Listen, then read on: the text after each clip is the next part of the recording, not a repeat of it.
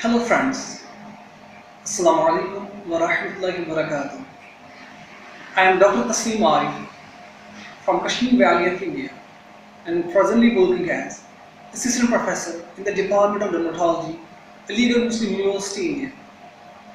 It's a matter of pleasure for me to share certain aspects about the use of salicylic acid for facial peeling. There are certain misconceptions about the use of salicylic acid and dermatologists feel scary in using this facial peel. In order to clear such queries, became a driving force for me to write such a comprehensive review on salicylic acid. First of all, in the past, salicylic acid has been labeled as a keratolytic agent. That means an agent which must break into intracellular keratin filaments.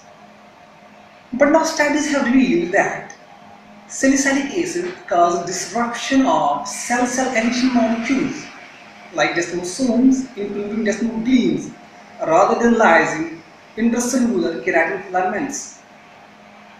So friends, it's better to call salicylic acid a desmolytic agent rather than a true keratolytic agent. Secondly, in India, dermatologists are reluctant to use salicylic acid for facial peeling because of safety issues. But there is ample evidence to suggest that salicylic acid is safer even in darker skin types like Fitzpatrick skin type 4, 5 and 6. Another concern is the salicylic acid facial peeling and salicylism. There are cosmetologists who have carried out thousands of procedures of salicylic acid peeling without a single report of systemic toxicity being reported. Yes, there are reports of salicylism with the use of salicylic acid, but these are with the use of when 20% salicylic acid was used on more than 50% of body surface area or with the use of 40 to 50% salicylic acid paste.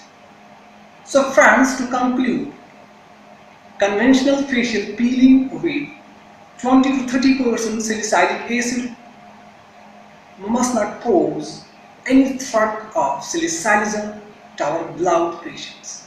Thanks.